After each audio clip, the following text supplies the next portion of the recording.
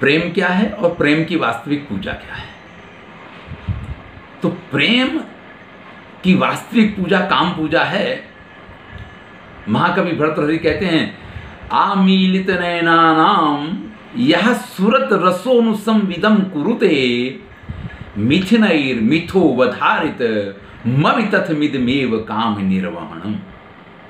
अरे भाई, जिसकी आँखें आधी खुली, आधी बंद हैं जो कामोन्मत्त है, इस प्रकार की सुंदरी को मैथुन के द्वारा, संभोग के द्वारा संपूर्ण प्रकार से जो आंदोलित कर देता है, जो उसको प्रसन्न प्रसन्न बना देता है, और वह भी खुद को प्रसन्न करने वाले को जब संपूर्णतया प्रसन्न कर देती है तो ये परस्पर की जो पराकाष्ठा की प्रीति है, तब प्रकट होती है। और इसीलिए इसी को महाकवि भरतहरि काम निर्वहणम इदम एव। यही काम की वास्तविक पूजा है। अगर आप वास्तव में प्रेम करते हैं तो प्रेम जो है ना, वो सिर्फ़ मुँह देख के नहीं होता है। उसकी पराकाष्ठा तो तभी प्राप्त होती है जब दोनों एक दूसरे को पूरी तरह संतुष्ट करें। और संतुष्ट होने के लिए आवश्यक है कि दोनों की स्थितियाँ संतुष्ट होने वाली हो। एक हिंदी का पद्य देखते हैं।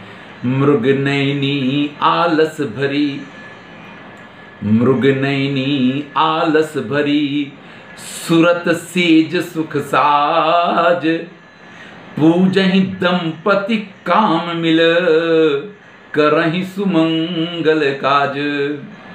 देखिए, जब इस प्रकार से दोनों को पराकाष्ठा का सुख मिलता है ना तो दोनों के चेहरे का आनंद, दोनों के घर, परिवार, जो भी कार्य में वो लगेंगे, उन कार्यों का आनंद सब कुछ एक अलग प्रकार का हो जाएगा। आप समझ लीजिए कि जब दंपति अत्यंत प्रसन्न और अत्यंत आनंद में आपको दिखाई दें, दोनों एक दूसरे के साथ हर तरीके से मिले जुले दिखाई दें तो आपको समझ लेना चाहिए कि आज उन्होंने पराकाष्ठा का सुख प्राप्त किया है।